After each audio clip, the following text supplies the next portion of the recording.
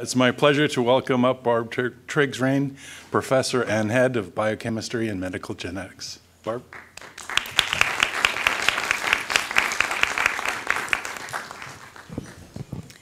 Thanks very much, Jeff. It's my pleasure because you gave me just the easiest job today, I thought. And that's because I don't think that Dr. Rossant needs a lot of introduction in Manitoba. She's come many times to visit us. But I know there's many people from outside of Manitoba, but I just wanted to mention that because she, in general, Dr. Rossant has been so generous with her time, I think, for the scientific community in general that I wanted to mention that. And I recall a presentation that she gave in Winnipeg, and I think it was when she was winner of the Canada Gairdner Wightman Award in 2015. And it was a really interesting and exciting talk. But for those of you who may not know her, uh, she's a senior scientist emeritus at the Hospital for Sick Children in Toronto, a professor emeritus at the University of Toronto, and as we heard earlier today, president and scientific director of the Gairdner Foundation. And she led the Research Institute at the Hospital for Sick Children between 2005 and 2015. Uh, now, Dr. Rossant is internationally known for her research in early embryo development and in stem cells that are derived from those embryos, and as well as in their applications for understanding and treating human disease and evolving from that. She's been very active in the ethics and public policy around stem cell research and modifications of those stem cells. And I recall some active discussion around that topic when she visited here. Possibly it was her last visit here.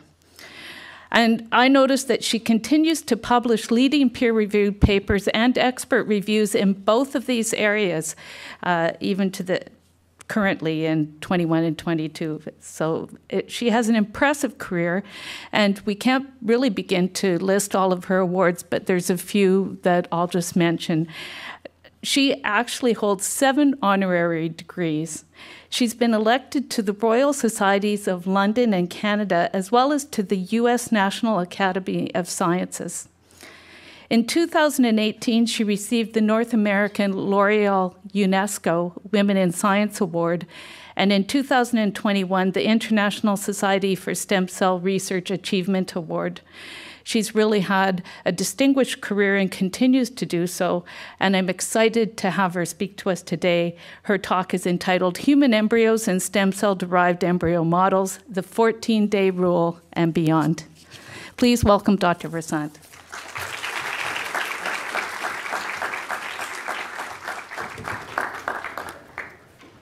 Thank you. Uh, it really is a pleasure to be here again. Um, and We'll be touching on some of the same areas that I presumably talked about in 2015 and in other visits as well, because I can't get away from being interested in the early embryo. You heard Sheena's interested in the brain, Mathieu's interested in chromatin. We all have something that we're passionate about. And I've had a long career studying developmental biology, but the stage of development that I really like best is the one that's shown here, if I can work out how to advance the slides. There we go, the blastocyst. So this is the stage of development in a mammalian embryo when the embryo is just about to implant in the uterus. It has only three cell types, an outer layer of trophectoderm on the outside, a cavity in the middle, and a group of cells at one side here called the inner cell mass, and at this stage, this is a mouse blastocyst. It's got two cell types, the epiblast, which are pink because they're stained with an antibody to OCT4, which is a very famous pluripotency factor. And then on the surface are these primitive endoderm cells. Now this is the size of a speck of dust. In the mouse, it takes four days to get to this point. A human embryo has the same three cell types, takes six days to get to the same. And if any of you have ever seen pictures of human blastocysts, they are nowhere near as beautiful as this mouse blastocyst. It's actually amazing when you see some of the embryos that go through IVF cl clinics that they actually turn into babies. Um, but they do, most of them, but not all of them. And in fact, that's one of the reasons why we and others are very interested in understanding these early stages of development from the egg to the blastocyst, because it is a very critical stage for normal development. And in humans, there's a huge amount of early pregnancy loss around this time of blastocyst implantation. So this is my favorite stage of development. I started working on this when I was a graduate student, and I'll show you some early, early, earlier papers. Uh, and I've continued to come back to it ever since. Along the way, I've done many other things, and we've worked on different stages of development, and we've worked on technology. I've worked with Geoff Hicks on large-scale mutagenesis problems. Uh, you heard Sheena showing us how, how we could use uh, transgenic mice. We made the first lacZ mice. We made the first uh, diphtheria mice. We've always been involved in genetic manipulation, um, but as a tool and as a means to an end to study development. So here we are, the blastocyst, my favorite cell type. And if I could work out how to move this, there we go. And now you can watch it in real time. And this is some of the things we've done in the last few years. Now using CRISPR, we can tag all our favorite genes that we know over the years are important for blastocyst development. And we can tag them with different fluorescent markers. And then with live imaging, you can actually watch a blastocyst, the mouse blastocyst, develop. And you can see the gradual segregation of these cell types. So here we're seeing CDX2, which is a gene transcription factor required for making trophoblast. And you're seeing SOX2, which is a pluripotency gene required to make the inner cell mass. And as the blastocyst develops, you see the two separating. And actually, this tells you something. You're seeing CDX2 everywhere becoming restricted to the outside, and only then do you see the pluripotency genes coming on. So being able to visualize this tells us something about the trajectories and the order and the way in which these genes are going to be regulated to set up the first lineages of the embryo. And one of the questions I started asking when I was a graduate student is, well, how we've got these two cell types. We make a blastocyst, the inner cell mass and the trophectoderm. The trophectoderm gives rise to the cells of the placenta, it's extraembryonic only, but the inner cell mass contains these pluripotent cells, the epiblast cells, that give rise to the entire fetus. So this first lineage decision is really critical for everything that follows. Now, how does it happen? And without going through years and years of experiments, I'm going to show you the biggest aha moment I think I had in all the years of studying blastocyst formation. We'd found the genes that were involved in specifying the cell types, the pluripotent cells, the trophectoderm cells, the transcription factors, but we had no idea how this dynamic process of segregation of the lineages was really controlled. And this was an aha moment. It was an aha moment uh, carried out actually by Amy Ralston, who was a postdoc in the lab at the time, has her own lab now at uh, Michigan State. And what Amy showed was that uh, a particular factor, YAP, and YAP some of you have probably heard of it. It pops up all over the place these days. It's a, a co-activator of transcription factors of the TEAD family. And YAP is a co-activator that those transcription factor uh, genes require to activate downstream genes. And YAP can be phosphorylated. And when it's phosphorylated by components of the hippo signaling pathway, phosphorylation means that it can't enter the nucleus and therefore it can't bind to TEAD and transcription downstream doesn't happen. So the nuclear localization of YAP can be very important. We knew from studies in others that TEAD transcription factors were actually upstream of our favorite gene, CDX2. CDX2 required TEAD activity to be active. And what happens when you look Uh, where YAP is, so how important it is to look at embryos. And what you see is that YAP by antibody staining is everywhere in the early embryo. And then as you start to get the outside cells, which you saw turning on CDX2, those outside cells have YAP in the nucleus. The inside cells have it excluded from the nucleus. And this continues through the morula stage to the blastocyst stage. And you see it nuclear in the trophectoderm and excluded in the inner cell mass. Overlay that with CDX2, and they're almost completely overlaying each other.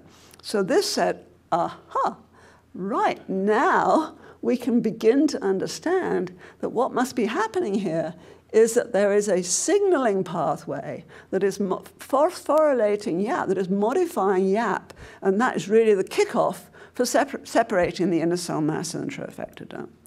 And again, I'm not going to go through all the science, but this is roughly what we think is happening now. This is the current model for how the inner cell mass and the trophectoderm are separated. There's still details we don't understand, but this is the major components. The outside cells are where uh, going to form the trophectoderm. They, they have this localized CDX2, and in those outside cells, YAP is not phosphorylated, It enters, binds TEAD4, activates CDX2. It's not phosphorylated because to be phosphorylated, it actually has to be uh, phosphorylated by this complex, which contains components of cell adhesion, NF2, and this component, which is LATS, it's a serine threonine kinase. This complex can phosphorylate YAP, and it can only act in the inside cells. In the outside cells, the complex is torn apart because apical actin domains in these polarized outside cells lo localizes the LATs to, to the surface of the cell. The complex isn't there, YAP enters the nucleus. Inside cells, complex active, YAP enters the nucleus. So we think that cell adhesion, and we've shown cell adhesion is necessary, cell position is important, cell polarity, and importantly, because this has been shown in other systems, mechanical tension differs between these inside and outside cells. So the YAP is really a driver of this initial lineage segregation. And there are, as I say, many more uh, sort of cellular and me mechanical details to be worked out here, but the overall system is quite clear. So that's what's happening, making the inner cell mass in the trophectoderm. So there's another lineage decision that occurs before the embryo implants in the uterus, and that's making epiblast and primitive endoderm. You saw on the surface of the inner cell mass the primitive endoderm, and the enclosed cells are really the pluripotent cells that we really care about because they make the mouse. Those get segregated from primitive endoderm. And if you just look at the embryo, you might think that is also position dependent because if you remember, the primitive endoderm was on the surface of the inner cell mass against the blastocele. And in fact, in one of my first papers as a graduate student in 1975, here I am in Oxford, uh, and if you read the last sentence of the abstract, what I did here was isolate the inner cell masses and show that they could actually regenerate a layer of primitive endoderm over the surface. It was always on the outside. And that led me to suggest um, that cell position might be important in endoderm differentiation, that even in these isolated inner cell masses, you've got endoderm all the way around the outside. So a bit like the inner cell mass versus trophectoderm. It's always good to have a hypothesis, and it's always good to test your hypothesis, and it's even better when you yourself, your own lab, can prove the hypothesis wrong. and that's what uh, postdocs in my lab at the time, uh, Yamanaka and Fredrik Lanner uh, and Claire Chazaud did, because what we now know is that that's not what happens in the inner cell mass. Actually, the inner cell mass starts out as a mosaic of cells, and the different cells actually sort themselves out. So the epiblast is enclosed and the primitive endoderm on the surface. And of course, we know that now because you can look again always look at the embryo to see where the key genes that we know are important for epiblast and primitive endoderm, where they're expressed. And what we know, I showed you this already, here is the surface, this is GATA6, this is uh, NANOG, which is another pluripotency gene, and they're nicely separated. But a, a, day earlier, in the earlier blastocyst, you get this mosaic. Some cells are positive for GATA6, some for, for NANOG, and there are some that are still double positive. And that initial picture then suggested what we call the pepper and salt uh, situation that you get in segregation. And we now know that's true. And we also know what drives it. And what drives it is levels of FGF signaling. So in the inner cell mass, individual cells read out the local level of FGF-ERK signaling. And if you have high FGF signaling, then you become primitive endoderm, and if you have low FGF signal, if you're, the, if you're the secretor and not the responder, then you behave like an epiblast cell. And then as these two cells start to go down the pathway, they start to show differences in their cell surface properties such that then they segregate out to form the epiblast and the primitive endoderm. So that's, this is, I would say, a much less well understood process. But what we know generally then, if we think about lineage establishment, is that the first lineage decision, the inner cell mass trophectoderm, requires position-dependent activation of Hippo signaling for establishing cell fate. And then interestingly, the next lineage decision does something different. It requires some what we call, you see the question mark there, stochastic, what usually means we just don't understand. What we know is that within the inner cell mass, cells are reading out local FGF signaling levels. That's causing negative feedback loops and then causing cell surface changes that cause cell sorting. This is still not understood, and there's just increasing numbers of computational and mathematical modeling of what's going on within the inner cell mass that I read and I don't understand. But somebody's going to work this out, and it's not going to be me. But it is clearly true that the most important thing is the level of FGF-ERK signaling. That determines which way you're going to go. And it's instructive. If you have too much FGF signaling, you become primitive endoderm. Too little, you stay as epiblast. So it's a very different process. Now, interestingly, FGF signaling has multiple uses in the embryo around implantation. And this takes me to another paper. So after I did my graduate work in uh, Oxford, in Cambridge. I did my postdoc in Oxford. I married a Canadian, and I moved to Canada, and my first faculty position was at Brock University. And this was one of my first papers from Brock University. And what we showed here was that the, the trophoblast cells at the blastocyst stage and in the early post-implantation stages, if you took them away from the embryo, they stopped dividing and transformed into trophoblast giant cells. And that suggested then, well, I said at the bottom here, I was getting a bit more presumptuous now, not we suggest, we have a new model for the post-implantation trophoblast lineage uh, in the mouse. And the model is basically this, that the inner cell mass and the early post-implantation epiblast in contact with the trophoblast keeps those cells proliferating because they produce a signal, and we went on to show that that signal again is FGF. So FGF from the inner cell mass and the epiblast signals to the overlying trophoblast not to turn, change its fate, but to cause it to proliferate as a stem cell. So FGF signaling is required for trophoblast stem cell development in the embryo, and as you'll see in a minute, in the, in the uh, culture dish as well. So FGF is very important for the mouse blastocyst it's requi- uh, the levels of FGF really determine what kinds of stem cells you can grow in culture, reflecting how the FGF is used in the embryo itself. So I told you FGF is important for segregating the epiblast and primitive endoderm. I told you that FGF is important for proliferating the trophoblast. So what happens when you get stem cells? Well, of course, embryonic stem cells have been derived many years ago now, 1981, the first mouse ES cells, and they were grown in the presence of LIF and serum. And when you do that, you actually get a kind of bit of a mosaic going on. And in some ways, it's quite similar to what we would see uh, in, the, in the inner cell mass, because with the, uh, the uh, epiblast cells, the ES cells secrete FGF, and they talk to the cells next to them, and you start to get primitive endoderms. So it's not a, it's a somewhat heterogeneous mixture. A few years ago now, Austin Smith's lab showed that if you block FGF signaling in ES cells, then essentially you make naive ES cells, and they all become like epiblasts. And I told you that's what happens in the embryo as well. So block FGF, you become epiblast. We generated trophoblast stem cells, and like the embryo, you require FGF signaling and activin nodal to maintain trophoblast stem cells.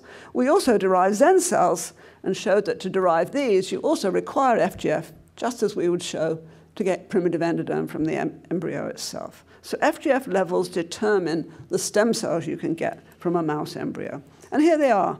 Embryonic stem cells, of course, the most famous. They express the pluripotency transcription factors. They arise from the epiblast in the inner cell mass and they are pluripotent. That is to say, they make the entire fetus, but they don't make the yolk sac and they don't make the placenta. That's because they remember what they were in the blastocysts themselves, and they are pluripotent, not totipotent. Trophoblast stem cells come from the trophectoderm, their own transcription factors, put them back into a blastocyst, they make placenta, but not the fetus, and then XEN cells, their own transcription factors, just like the embryo. Uh, they look different, but they can grow indefinitely in culture. Put them in, the, in a chimera, they make yolk sac endoderm. So in the mouse, we have these very nice three lineage-specific stem cell lines. We've had them for a long time now. Of course, ES cells uh, in the mouse can be used for genetic modification. In the human, of course, they are the source of cells for stem cell-based therapy. But the other stem cells are also important because they give us ways of doing much more hardcore biochemistry to look at the pathways that maintain lineage specification. And also, they allow you to potentially model the early embryo. So as soon as we made ES cells, TS cells, and XEN cells, whenever I talked about them, people would ask, always ask me, well, what happens if you put them together? You've got the three stem cells from the blastocyst. What happens if you mix them up? I would go, well, you know, we've done a little bit of that, and they sort of sort themselves out, but, you know, I don't think they really are mimicking normal development, and I'm not sure I want to go down that pathway, and you'll see why I said that in a minute. But others have done so, and this is a paper from Magda uh, Zernicka-Goetz lab in 2018 where they took ES cells and our TS and XEN cells, mixed them all up, and showed that in the best situations, you know, you always, this is a very carefully selected image from that paper, but in the best situation, you actually get these cells sorting themselves out to look quite similar to not a blastocyst, but an early post-implantation embryo. One of these is a normal embryo. One of these is what they call ETX. Do you know which is which? I think this is the embryo because it's a bit broken up here where it was attached to the uterus, and this is the, the, the stem cell drive. But it, it, they do mimic quite nicely. And you can use these to look at some of the early interactions between the lineages that are important to begin the patterning in post-implantation development. More to my interest, of course, is can you actually make a blastocyst? And so this was work that's been done and been carried on uh, successfully by Nicolas Rivron, who was in, uh, in the Netherlands at the time, now is his lab in Vienna.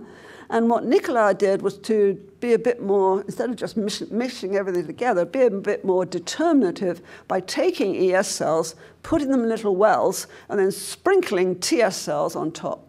So that essentially he's hoping that the TS cells will encompass the ES cells. And indeed, that's what happens. And he makes these structures that he calls blastoids that really do look quite similar to the blastocyst itself. They didn't make a lot of primitive endoderm in the first place because they were using ES cells. He's gone on to, to change the situation and get better blastoids with more primitive endoderm. So these are potential models then that you can grow in large numbers to model and study early events in the mouse embryo. Um, but in neither case, in the ETX or the blastoids, in the mouse, both groups put them back into the uterus and they show that you can sometimes get an implantation response because that only requires a bit of trophoblast, but they don't make an embryo. They really don't go very far. So these are not really uh, mimicking exactly normal development. But maybe that's just because we don't have the right stem cells. Maybe we need to get stem cells that are more like the cells that lead up to the progenitors of the blastocyst, because the three ES cells, TS and XEN, really in many ways resemble a sort of slight, just after, just after implantation embryo. So it's not surprising that you can't regenerate the processes that lead up to blastocyst formation. So my lab and lots of labs, and increasing, there's still more papers coming out day by day, have been asking, well, could, why is it that we can only capture as stem cells the three restricted lineages of the blastocyst? Why can't we capture the earlier stage, the totipotent stage of development? So if we go back and think about early development, we have a zygote, fertilized egg, totipotent, two-cell embryo, individual cells are totipotent. They can make a whole mouse. Uh, and even at the eight-cell stage, and we've shown this in many different experiments, that even at the eight cell stage, individual blastomeres are not committed. They can make inner cell mass, they can make trophectoderm. They need other cells to do it, but they're not committed to one lineage or another. Commitment to lineage doesn't occur until late morula, early blastocyst stage. So could you capture, why can't we capture this state, this uncommitted totipotent state. And so there's been a number of different papers, and as I say, there's a whole slew I'm not going to show you today, of recent papers suggesting that it might be possible to either directly from embryos or more likely from starting with ES cells, turn back the clock and push them to a more totipotent state similar to the eight cell or even to the two cell stage. Several years ago, it was shown that in the, in the normal ESL cultures, there are what called T2C-like cells. They express lots of retroposons, so, so always uh, very important structures for early development. But these, these 2C-like cells have many of the properties of the two-cell embryo, but it's not clear that they really are totipotent, and they certainly don't make stable cell lines. On the other hand, several groups have generated what they call extended potential cells. And particularly these two papers, Yang et al. and Yang et al., one from Hongkui Deng's lab in uh, uh, Beijing and one from Pentao Liu's lab at the University of Hong Kong, in 2017 claimed to have what they called extended or expanded potential cells that had expressed genes that were perhaps more typical of the eight cell stage and that they claimed were able to, in chimeras, generate not just the epiblast lineages, but also the trophoblast lineages. So we, we and in this case, we is a, a collaboration between my lab, Eszter Posfai's lab at Princeton, Fredrik Lanner's lab at the Karolinska Institute, uh, and uh, uh, Vincent Pasque's lab in Belgium, we got together at an ISSCR meeting and started to realize we were all interested in this concept of totipotency. But we realized also that some of the claims of totipotency in the literature were probably a little oversold. So we asked what were the properties you'd want if you wanted to say, I have a totipotent stem cell. And first of all, the expression profile obviously should reflect this pre-blastocyst stage. Cell lines better be stable or they're no use to you. And if they're really totipotent, you should be able to generate easily ES cells and TS cells in vitro. And most importantly, in the mouse, you can test out whether they are actually totipotent by asking what happens when you put them back in a blastocyst. Can they make all the cell lineages? So what we did, we did a test case, basically. We took the Deng and the Liu extended potential cells before we started to try and make our own and tested them against the criteria. And this was published last year. You can go look at a lot more detail than I'm talking about here. And what we showed there was that the expression profile of these cells does shift from ES cells and shifts a little bit towards pre-implantation development, but certainly not completely. If you just look at the sort of where they plot and uh, principal components, they plot pretty close to ES cells. They are stable. They do generate ES and TS cells, but not terribly efficiently. And do they make trophoblasts? Not very efficiently and not really what we think is, is true trophoblast lineage contribution. And here's just an example to show this is with the Pentao Liu cells. And what they claimed in their paper was that they did indeed see, in some kind, cases, contributions of the extended potential cells, not just to the epiblast, so these are GFP labeled cells. You can see they're beautiful ES cells. They take over the epiblast component.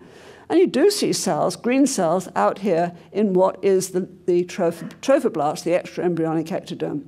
But if you look carefully, this is TFAP2C, which is a trophoblast gene, and it's expressed. And look at the green cells. Well, they're actually in a gap. Here's Elf5, another tro trophoblast gene, not expressed in the green cells. You can see this nicely in a single plane with the light sheet microscope.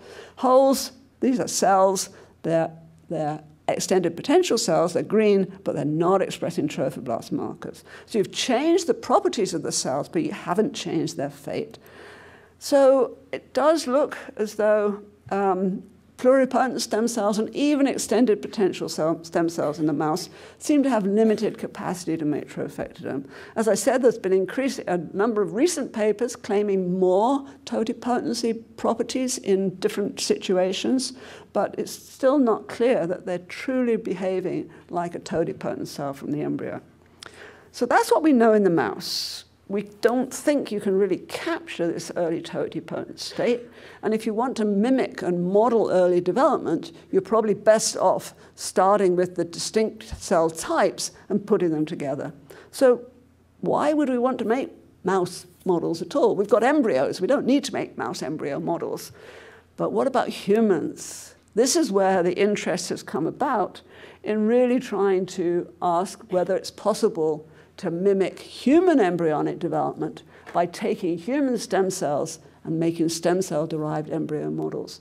If you want to understand early blastocyst development, implantation, early uh, uh, primitive streak formation, the beginning of early development in the human, it's hard to get access to human embryo material. There are ethical constraints, there are regulatory constraints. What if you could actually model development using stem cells?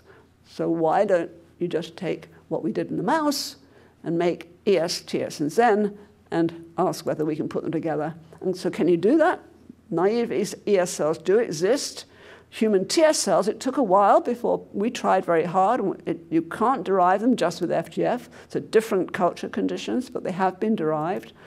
XEN cells, not quite so clear. We showed that you could get cells that look like XEN by overexpressing a transcription factor. Uh, uh, Josh Brickman's lab recently reported a culture conditions that seems to produce XEN-like cells. Um, but it's not, nobody has actually published taking those three cell types and putting them together to see if they'll make an embryo. What's interesting and what has led to the sort of the latest interest in making human embryo, stem cell derived embryo models is information that suggests that although I told you mouse ES cells are lineage restricted, they make embryo, they don't make trophoblast, they don't make extraembryonic endoderm, human ES cells don't seem to be as, as lineage restricted. So lots of bits of evidence. I'm just going to go through them quickly. I'll show you a couple of images. Expression profiles of naive ES cells look a bit more like those extended potential cells in the mouse. They have expression that's typical of the pre-implantation, the blastomere stage of development. Transposons that they express are also similar to cleavage stages people have made extended potential cells and naive cells. In both cases, it's pretty clear that they do generate trophoblast in culture much better than mouse ES cells do. And there's a series of experiments. If you reprogram and make uh, induce pluripotent stem cells. Jose Polo's lab in Australia has showed that during that process of reprogramming adult cells to pluripotency, you actually along the way generate cells that have trophoblast-like properties. And recently, again, there have been a couple of papers showing that a bit like those 2C-like cells in the mouse, human ES cell cultures seem to contain 8C-like cells, which is actually the time of zygotic genome activation in the, mouse, in the human. So they look like 8-cell blastomeres. Bits and pieces of evidence suggesting then that human uh, ES cells may actually be less restricted and may make trophoblast even in the normal situation.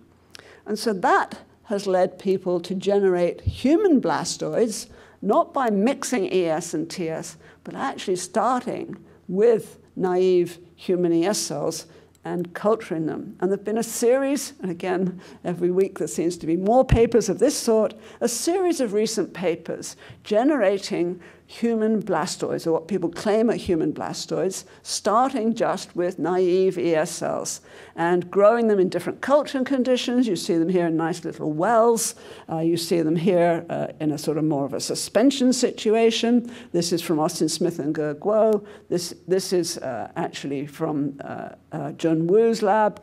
There's another paper I didn't show here, but uh, from uh, Rivron's lab. They've all shown that they can generate really quite nice looking blastocysts that really do seem to have trophectoderm on the outside, uh, in a, uh, epiblast and primitive endoderm cells, looking very good and looking like human blastocysts. This is from Jose Polo's lab. In this case, they, they took this idea that during reprogramming you could get trophectoderm forming, and they tried to stop the reprogramming process and capture the, the blastocyst stage along the way and make these structures here that they think are like blastoids. So, are they? You're starting with the S cells. Are you really making a structure that mimics the blastocyst? Is this going to be a good model for human development?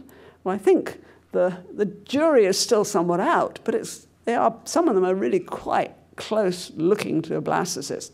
But they are heterogeneous, there's no question. In all the papers, nobody claims that they're perfectly uh, um, uh, homogeneous. You always get these blastoids. You have other cell types in these structures. And if you look at the expression data, what you want to know is are those cells, especially the trophectoderm, because remember the ES cells, you expect them to be pluripotent, are you making real trophectoderm? And so this is where I, I sort of re, regrouped um, with uh, Fredrik Lanner, uh, and this time with uh, Fu's lab in uh, at Michigan, and we started to look a little bit more carefully at the data sets on the single cell expression data from the different blastoid papers that came out in the last year or so. So, so in all these cases, what they did was to compare, this is the embryonic data set. So Fredrik's lab took all the published data sets from real embryos and made this sort of cluster analysis of how the single cells map to the lineages of the embryo. So we see here is the trophectoderm over here, amnion cells, mesoderm. This is the pre-implantation trajectory. We see a separation of epiblast and primitive endoderm, uh, of, of uh, epiblast and trophectoderm, and then the epiblast separating out into primitive endoderm as well. So this is an embryo data set. So then what they did was overlay the single cell data from the blastoid papers. And what you see is that in these three papers, this is, this is the uh, Guo and Smith paper, um, this, is the, this is the Rivron paper, this is the Jun Wu paper, and you'll see it's not bad. There's obviously in all cases a group of cells, green cells that plop, they call the epiblast, that map where the epiblast should be. There's a group of cells that they call trophoblasts that map where the trophoblast should be, and a set of cells in the primitive endoderm, looking good. You'll see in all cases, of course, there are other cells, especially a lot of cells that map out here in the amnion. And when you look at the, the, uh, the Jose Polo paper, then you get a whole load of cells that they call trophoblast, which clearly map to the amnion type cells. So they are not trophoblasts, we think they are amnion. Uh, and without going into details, there's a lot of confusion in the literature, but ES cells, human ES cells, can make amnion cells, and amnion cells do have some properties like trophoblast. So you have to be careful. This is the cleanest. It looks beautiful. You see, there don't seem to be many other errant cells, but you also not, not many cells here. So this is, this is selected data that Austin Smith and, and Guo did here.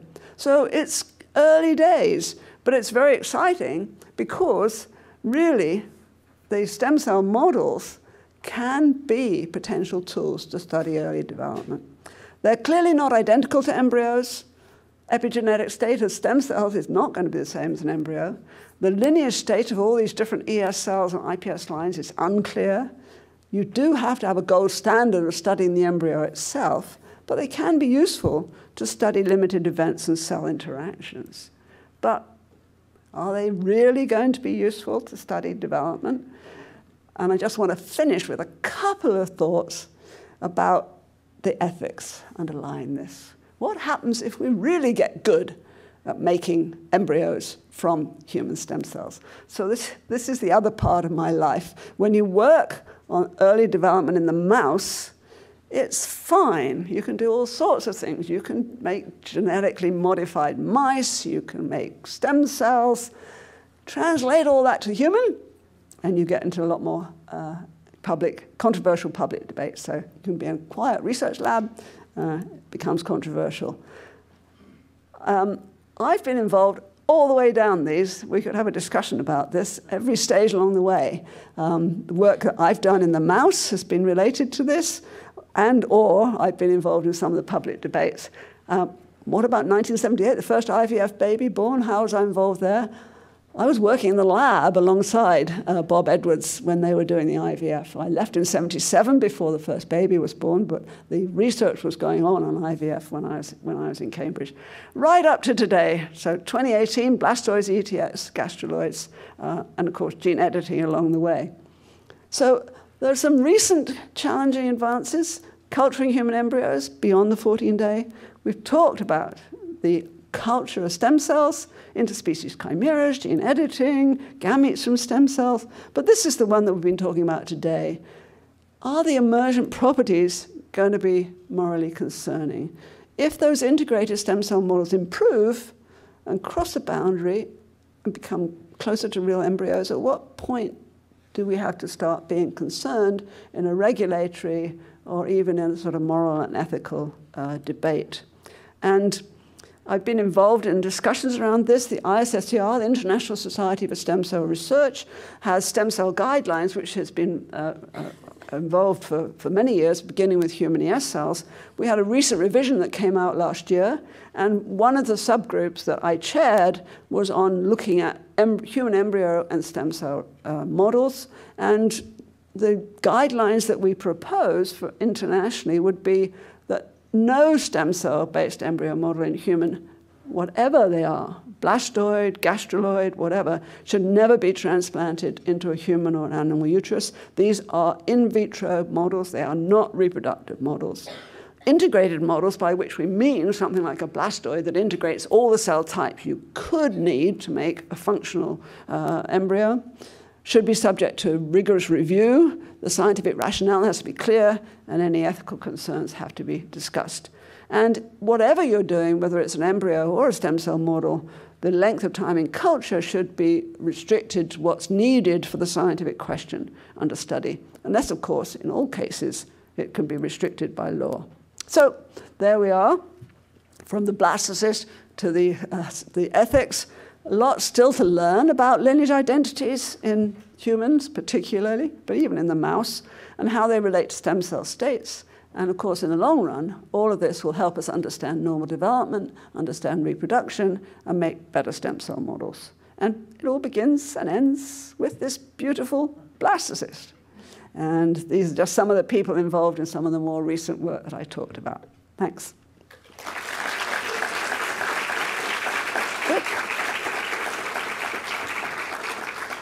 Quick, quick advert. You know, everything gets postponed for COVID. Had a great reunion in 2010, was planning one in 2020.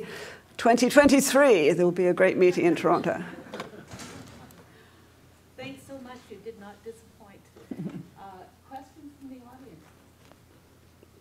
Maybe while the audience is putting their thoughts together, I had a couple of questions. One of them is going way back to the early work on hippo signaling. Um, are and TAZ equivalent in development? Yeah, so, so, so Bob asked, so YAP, and, YAP is YAP and TAZ are both co-activators, and uh, to get the phenotype in the early embryo, you actually have to knock out YAP and TAZ, so it is involved there as well. Uh, it looks like YAP is the sort of major player there, but yes, yeah. Thank you. The other question that I have comes back to, I think, uh, where things are at in terms of uh, mitochondrial manipulation for um, treating individuals with mitochondrial disorders. At, at one point, this was not, it couldn't be done in Canada, but can be done in some other countries. Okay. so Bob's asking a question about mitochondrial uh, disease uh, and the concept that if you have uh, a, uh, an embryo, fertilized egg, that has abnormal mitochondria, then you could, there's nothing wrong with the nucleus of those, those cells, but so could you just replace the cytoplasm and give it the right mitochondria? So the way to do that is by nuclear transfer.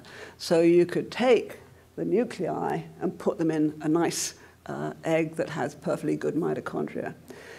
That is not allowed in Canada uh, it's against, we have something called the Re Reproductive Technologies Act, which bans a lot of things, including gene editing in human embryos and uh, nuclear transfer, which this would fall under. It is uh, allowed and being explored in the UK, as you know, um, and I think that it is moving forward, but slowly, because I think there are still some questions uh, about the safety of that approach. So then, we have another question. Does that apply for CRISPR editing as well? Is that moving yeah.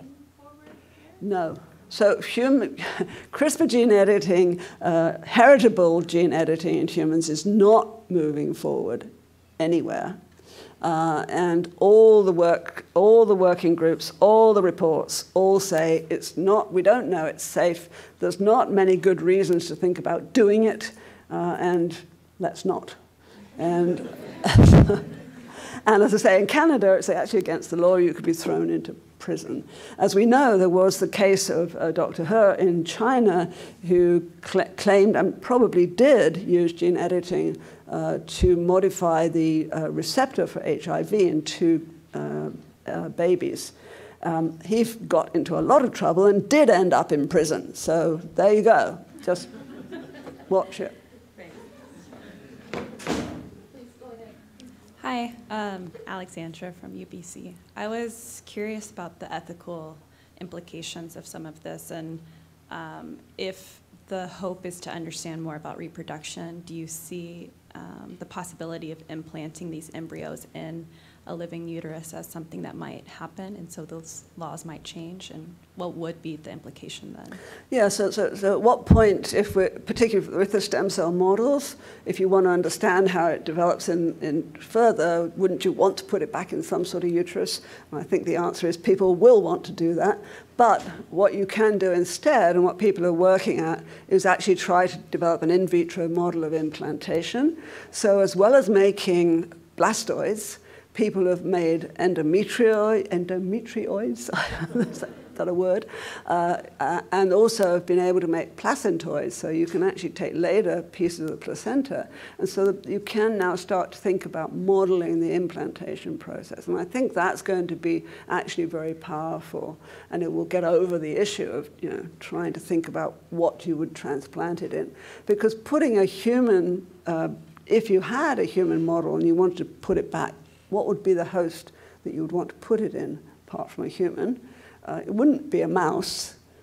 You know, the, the, human blastocyst implants very differently from the, from, from the mouse. The uterine response is extremely difficult. So it's not, there's no easy model to do that. So it has to be an in vitro model.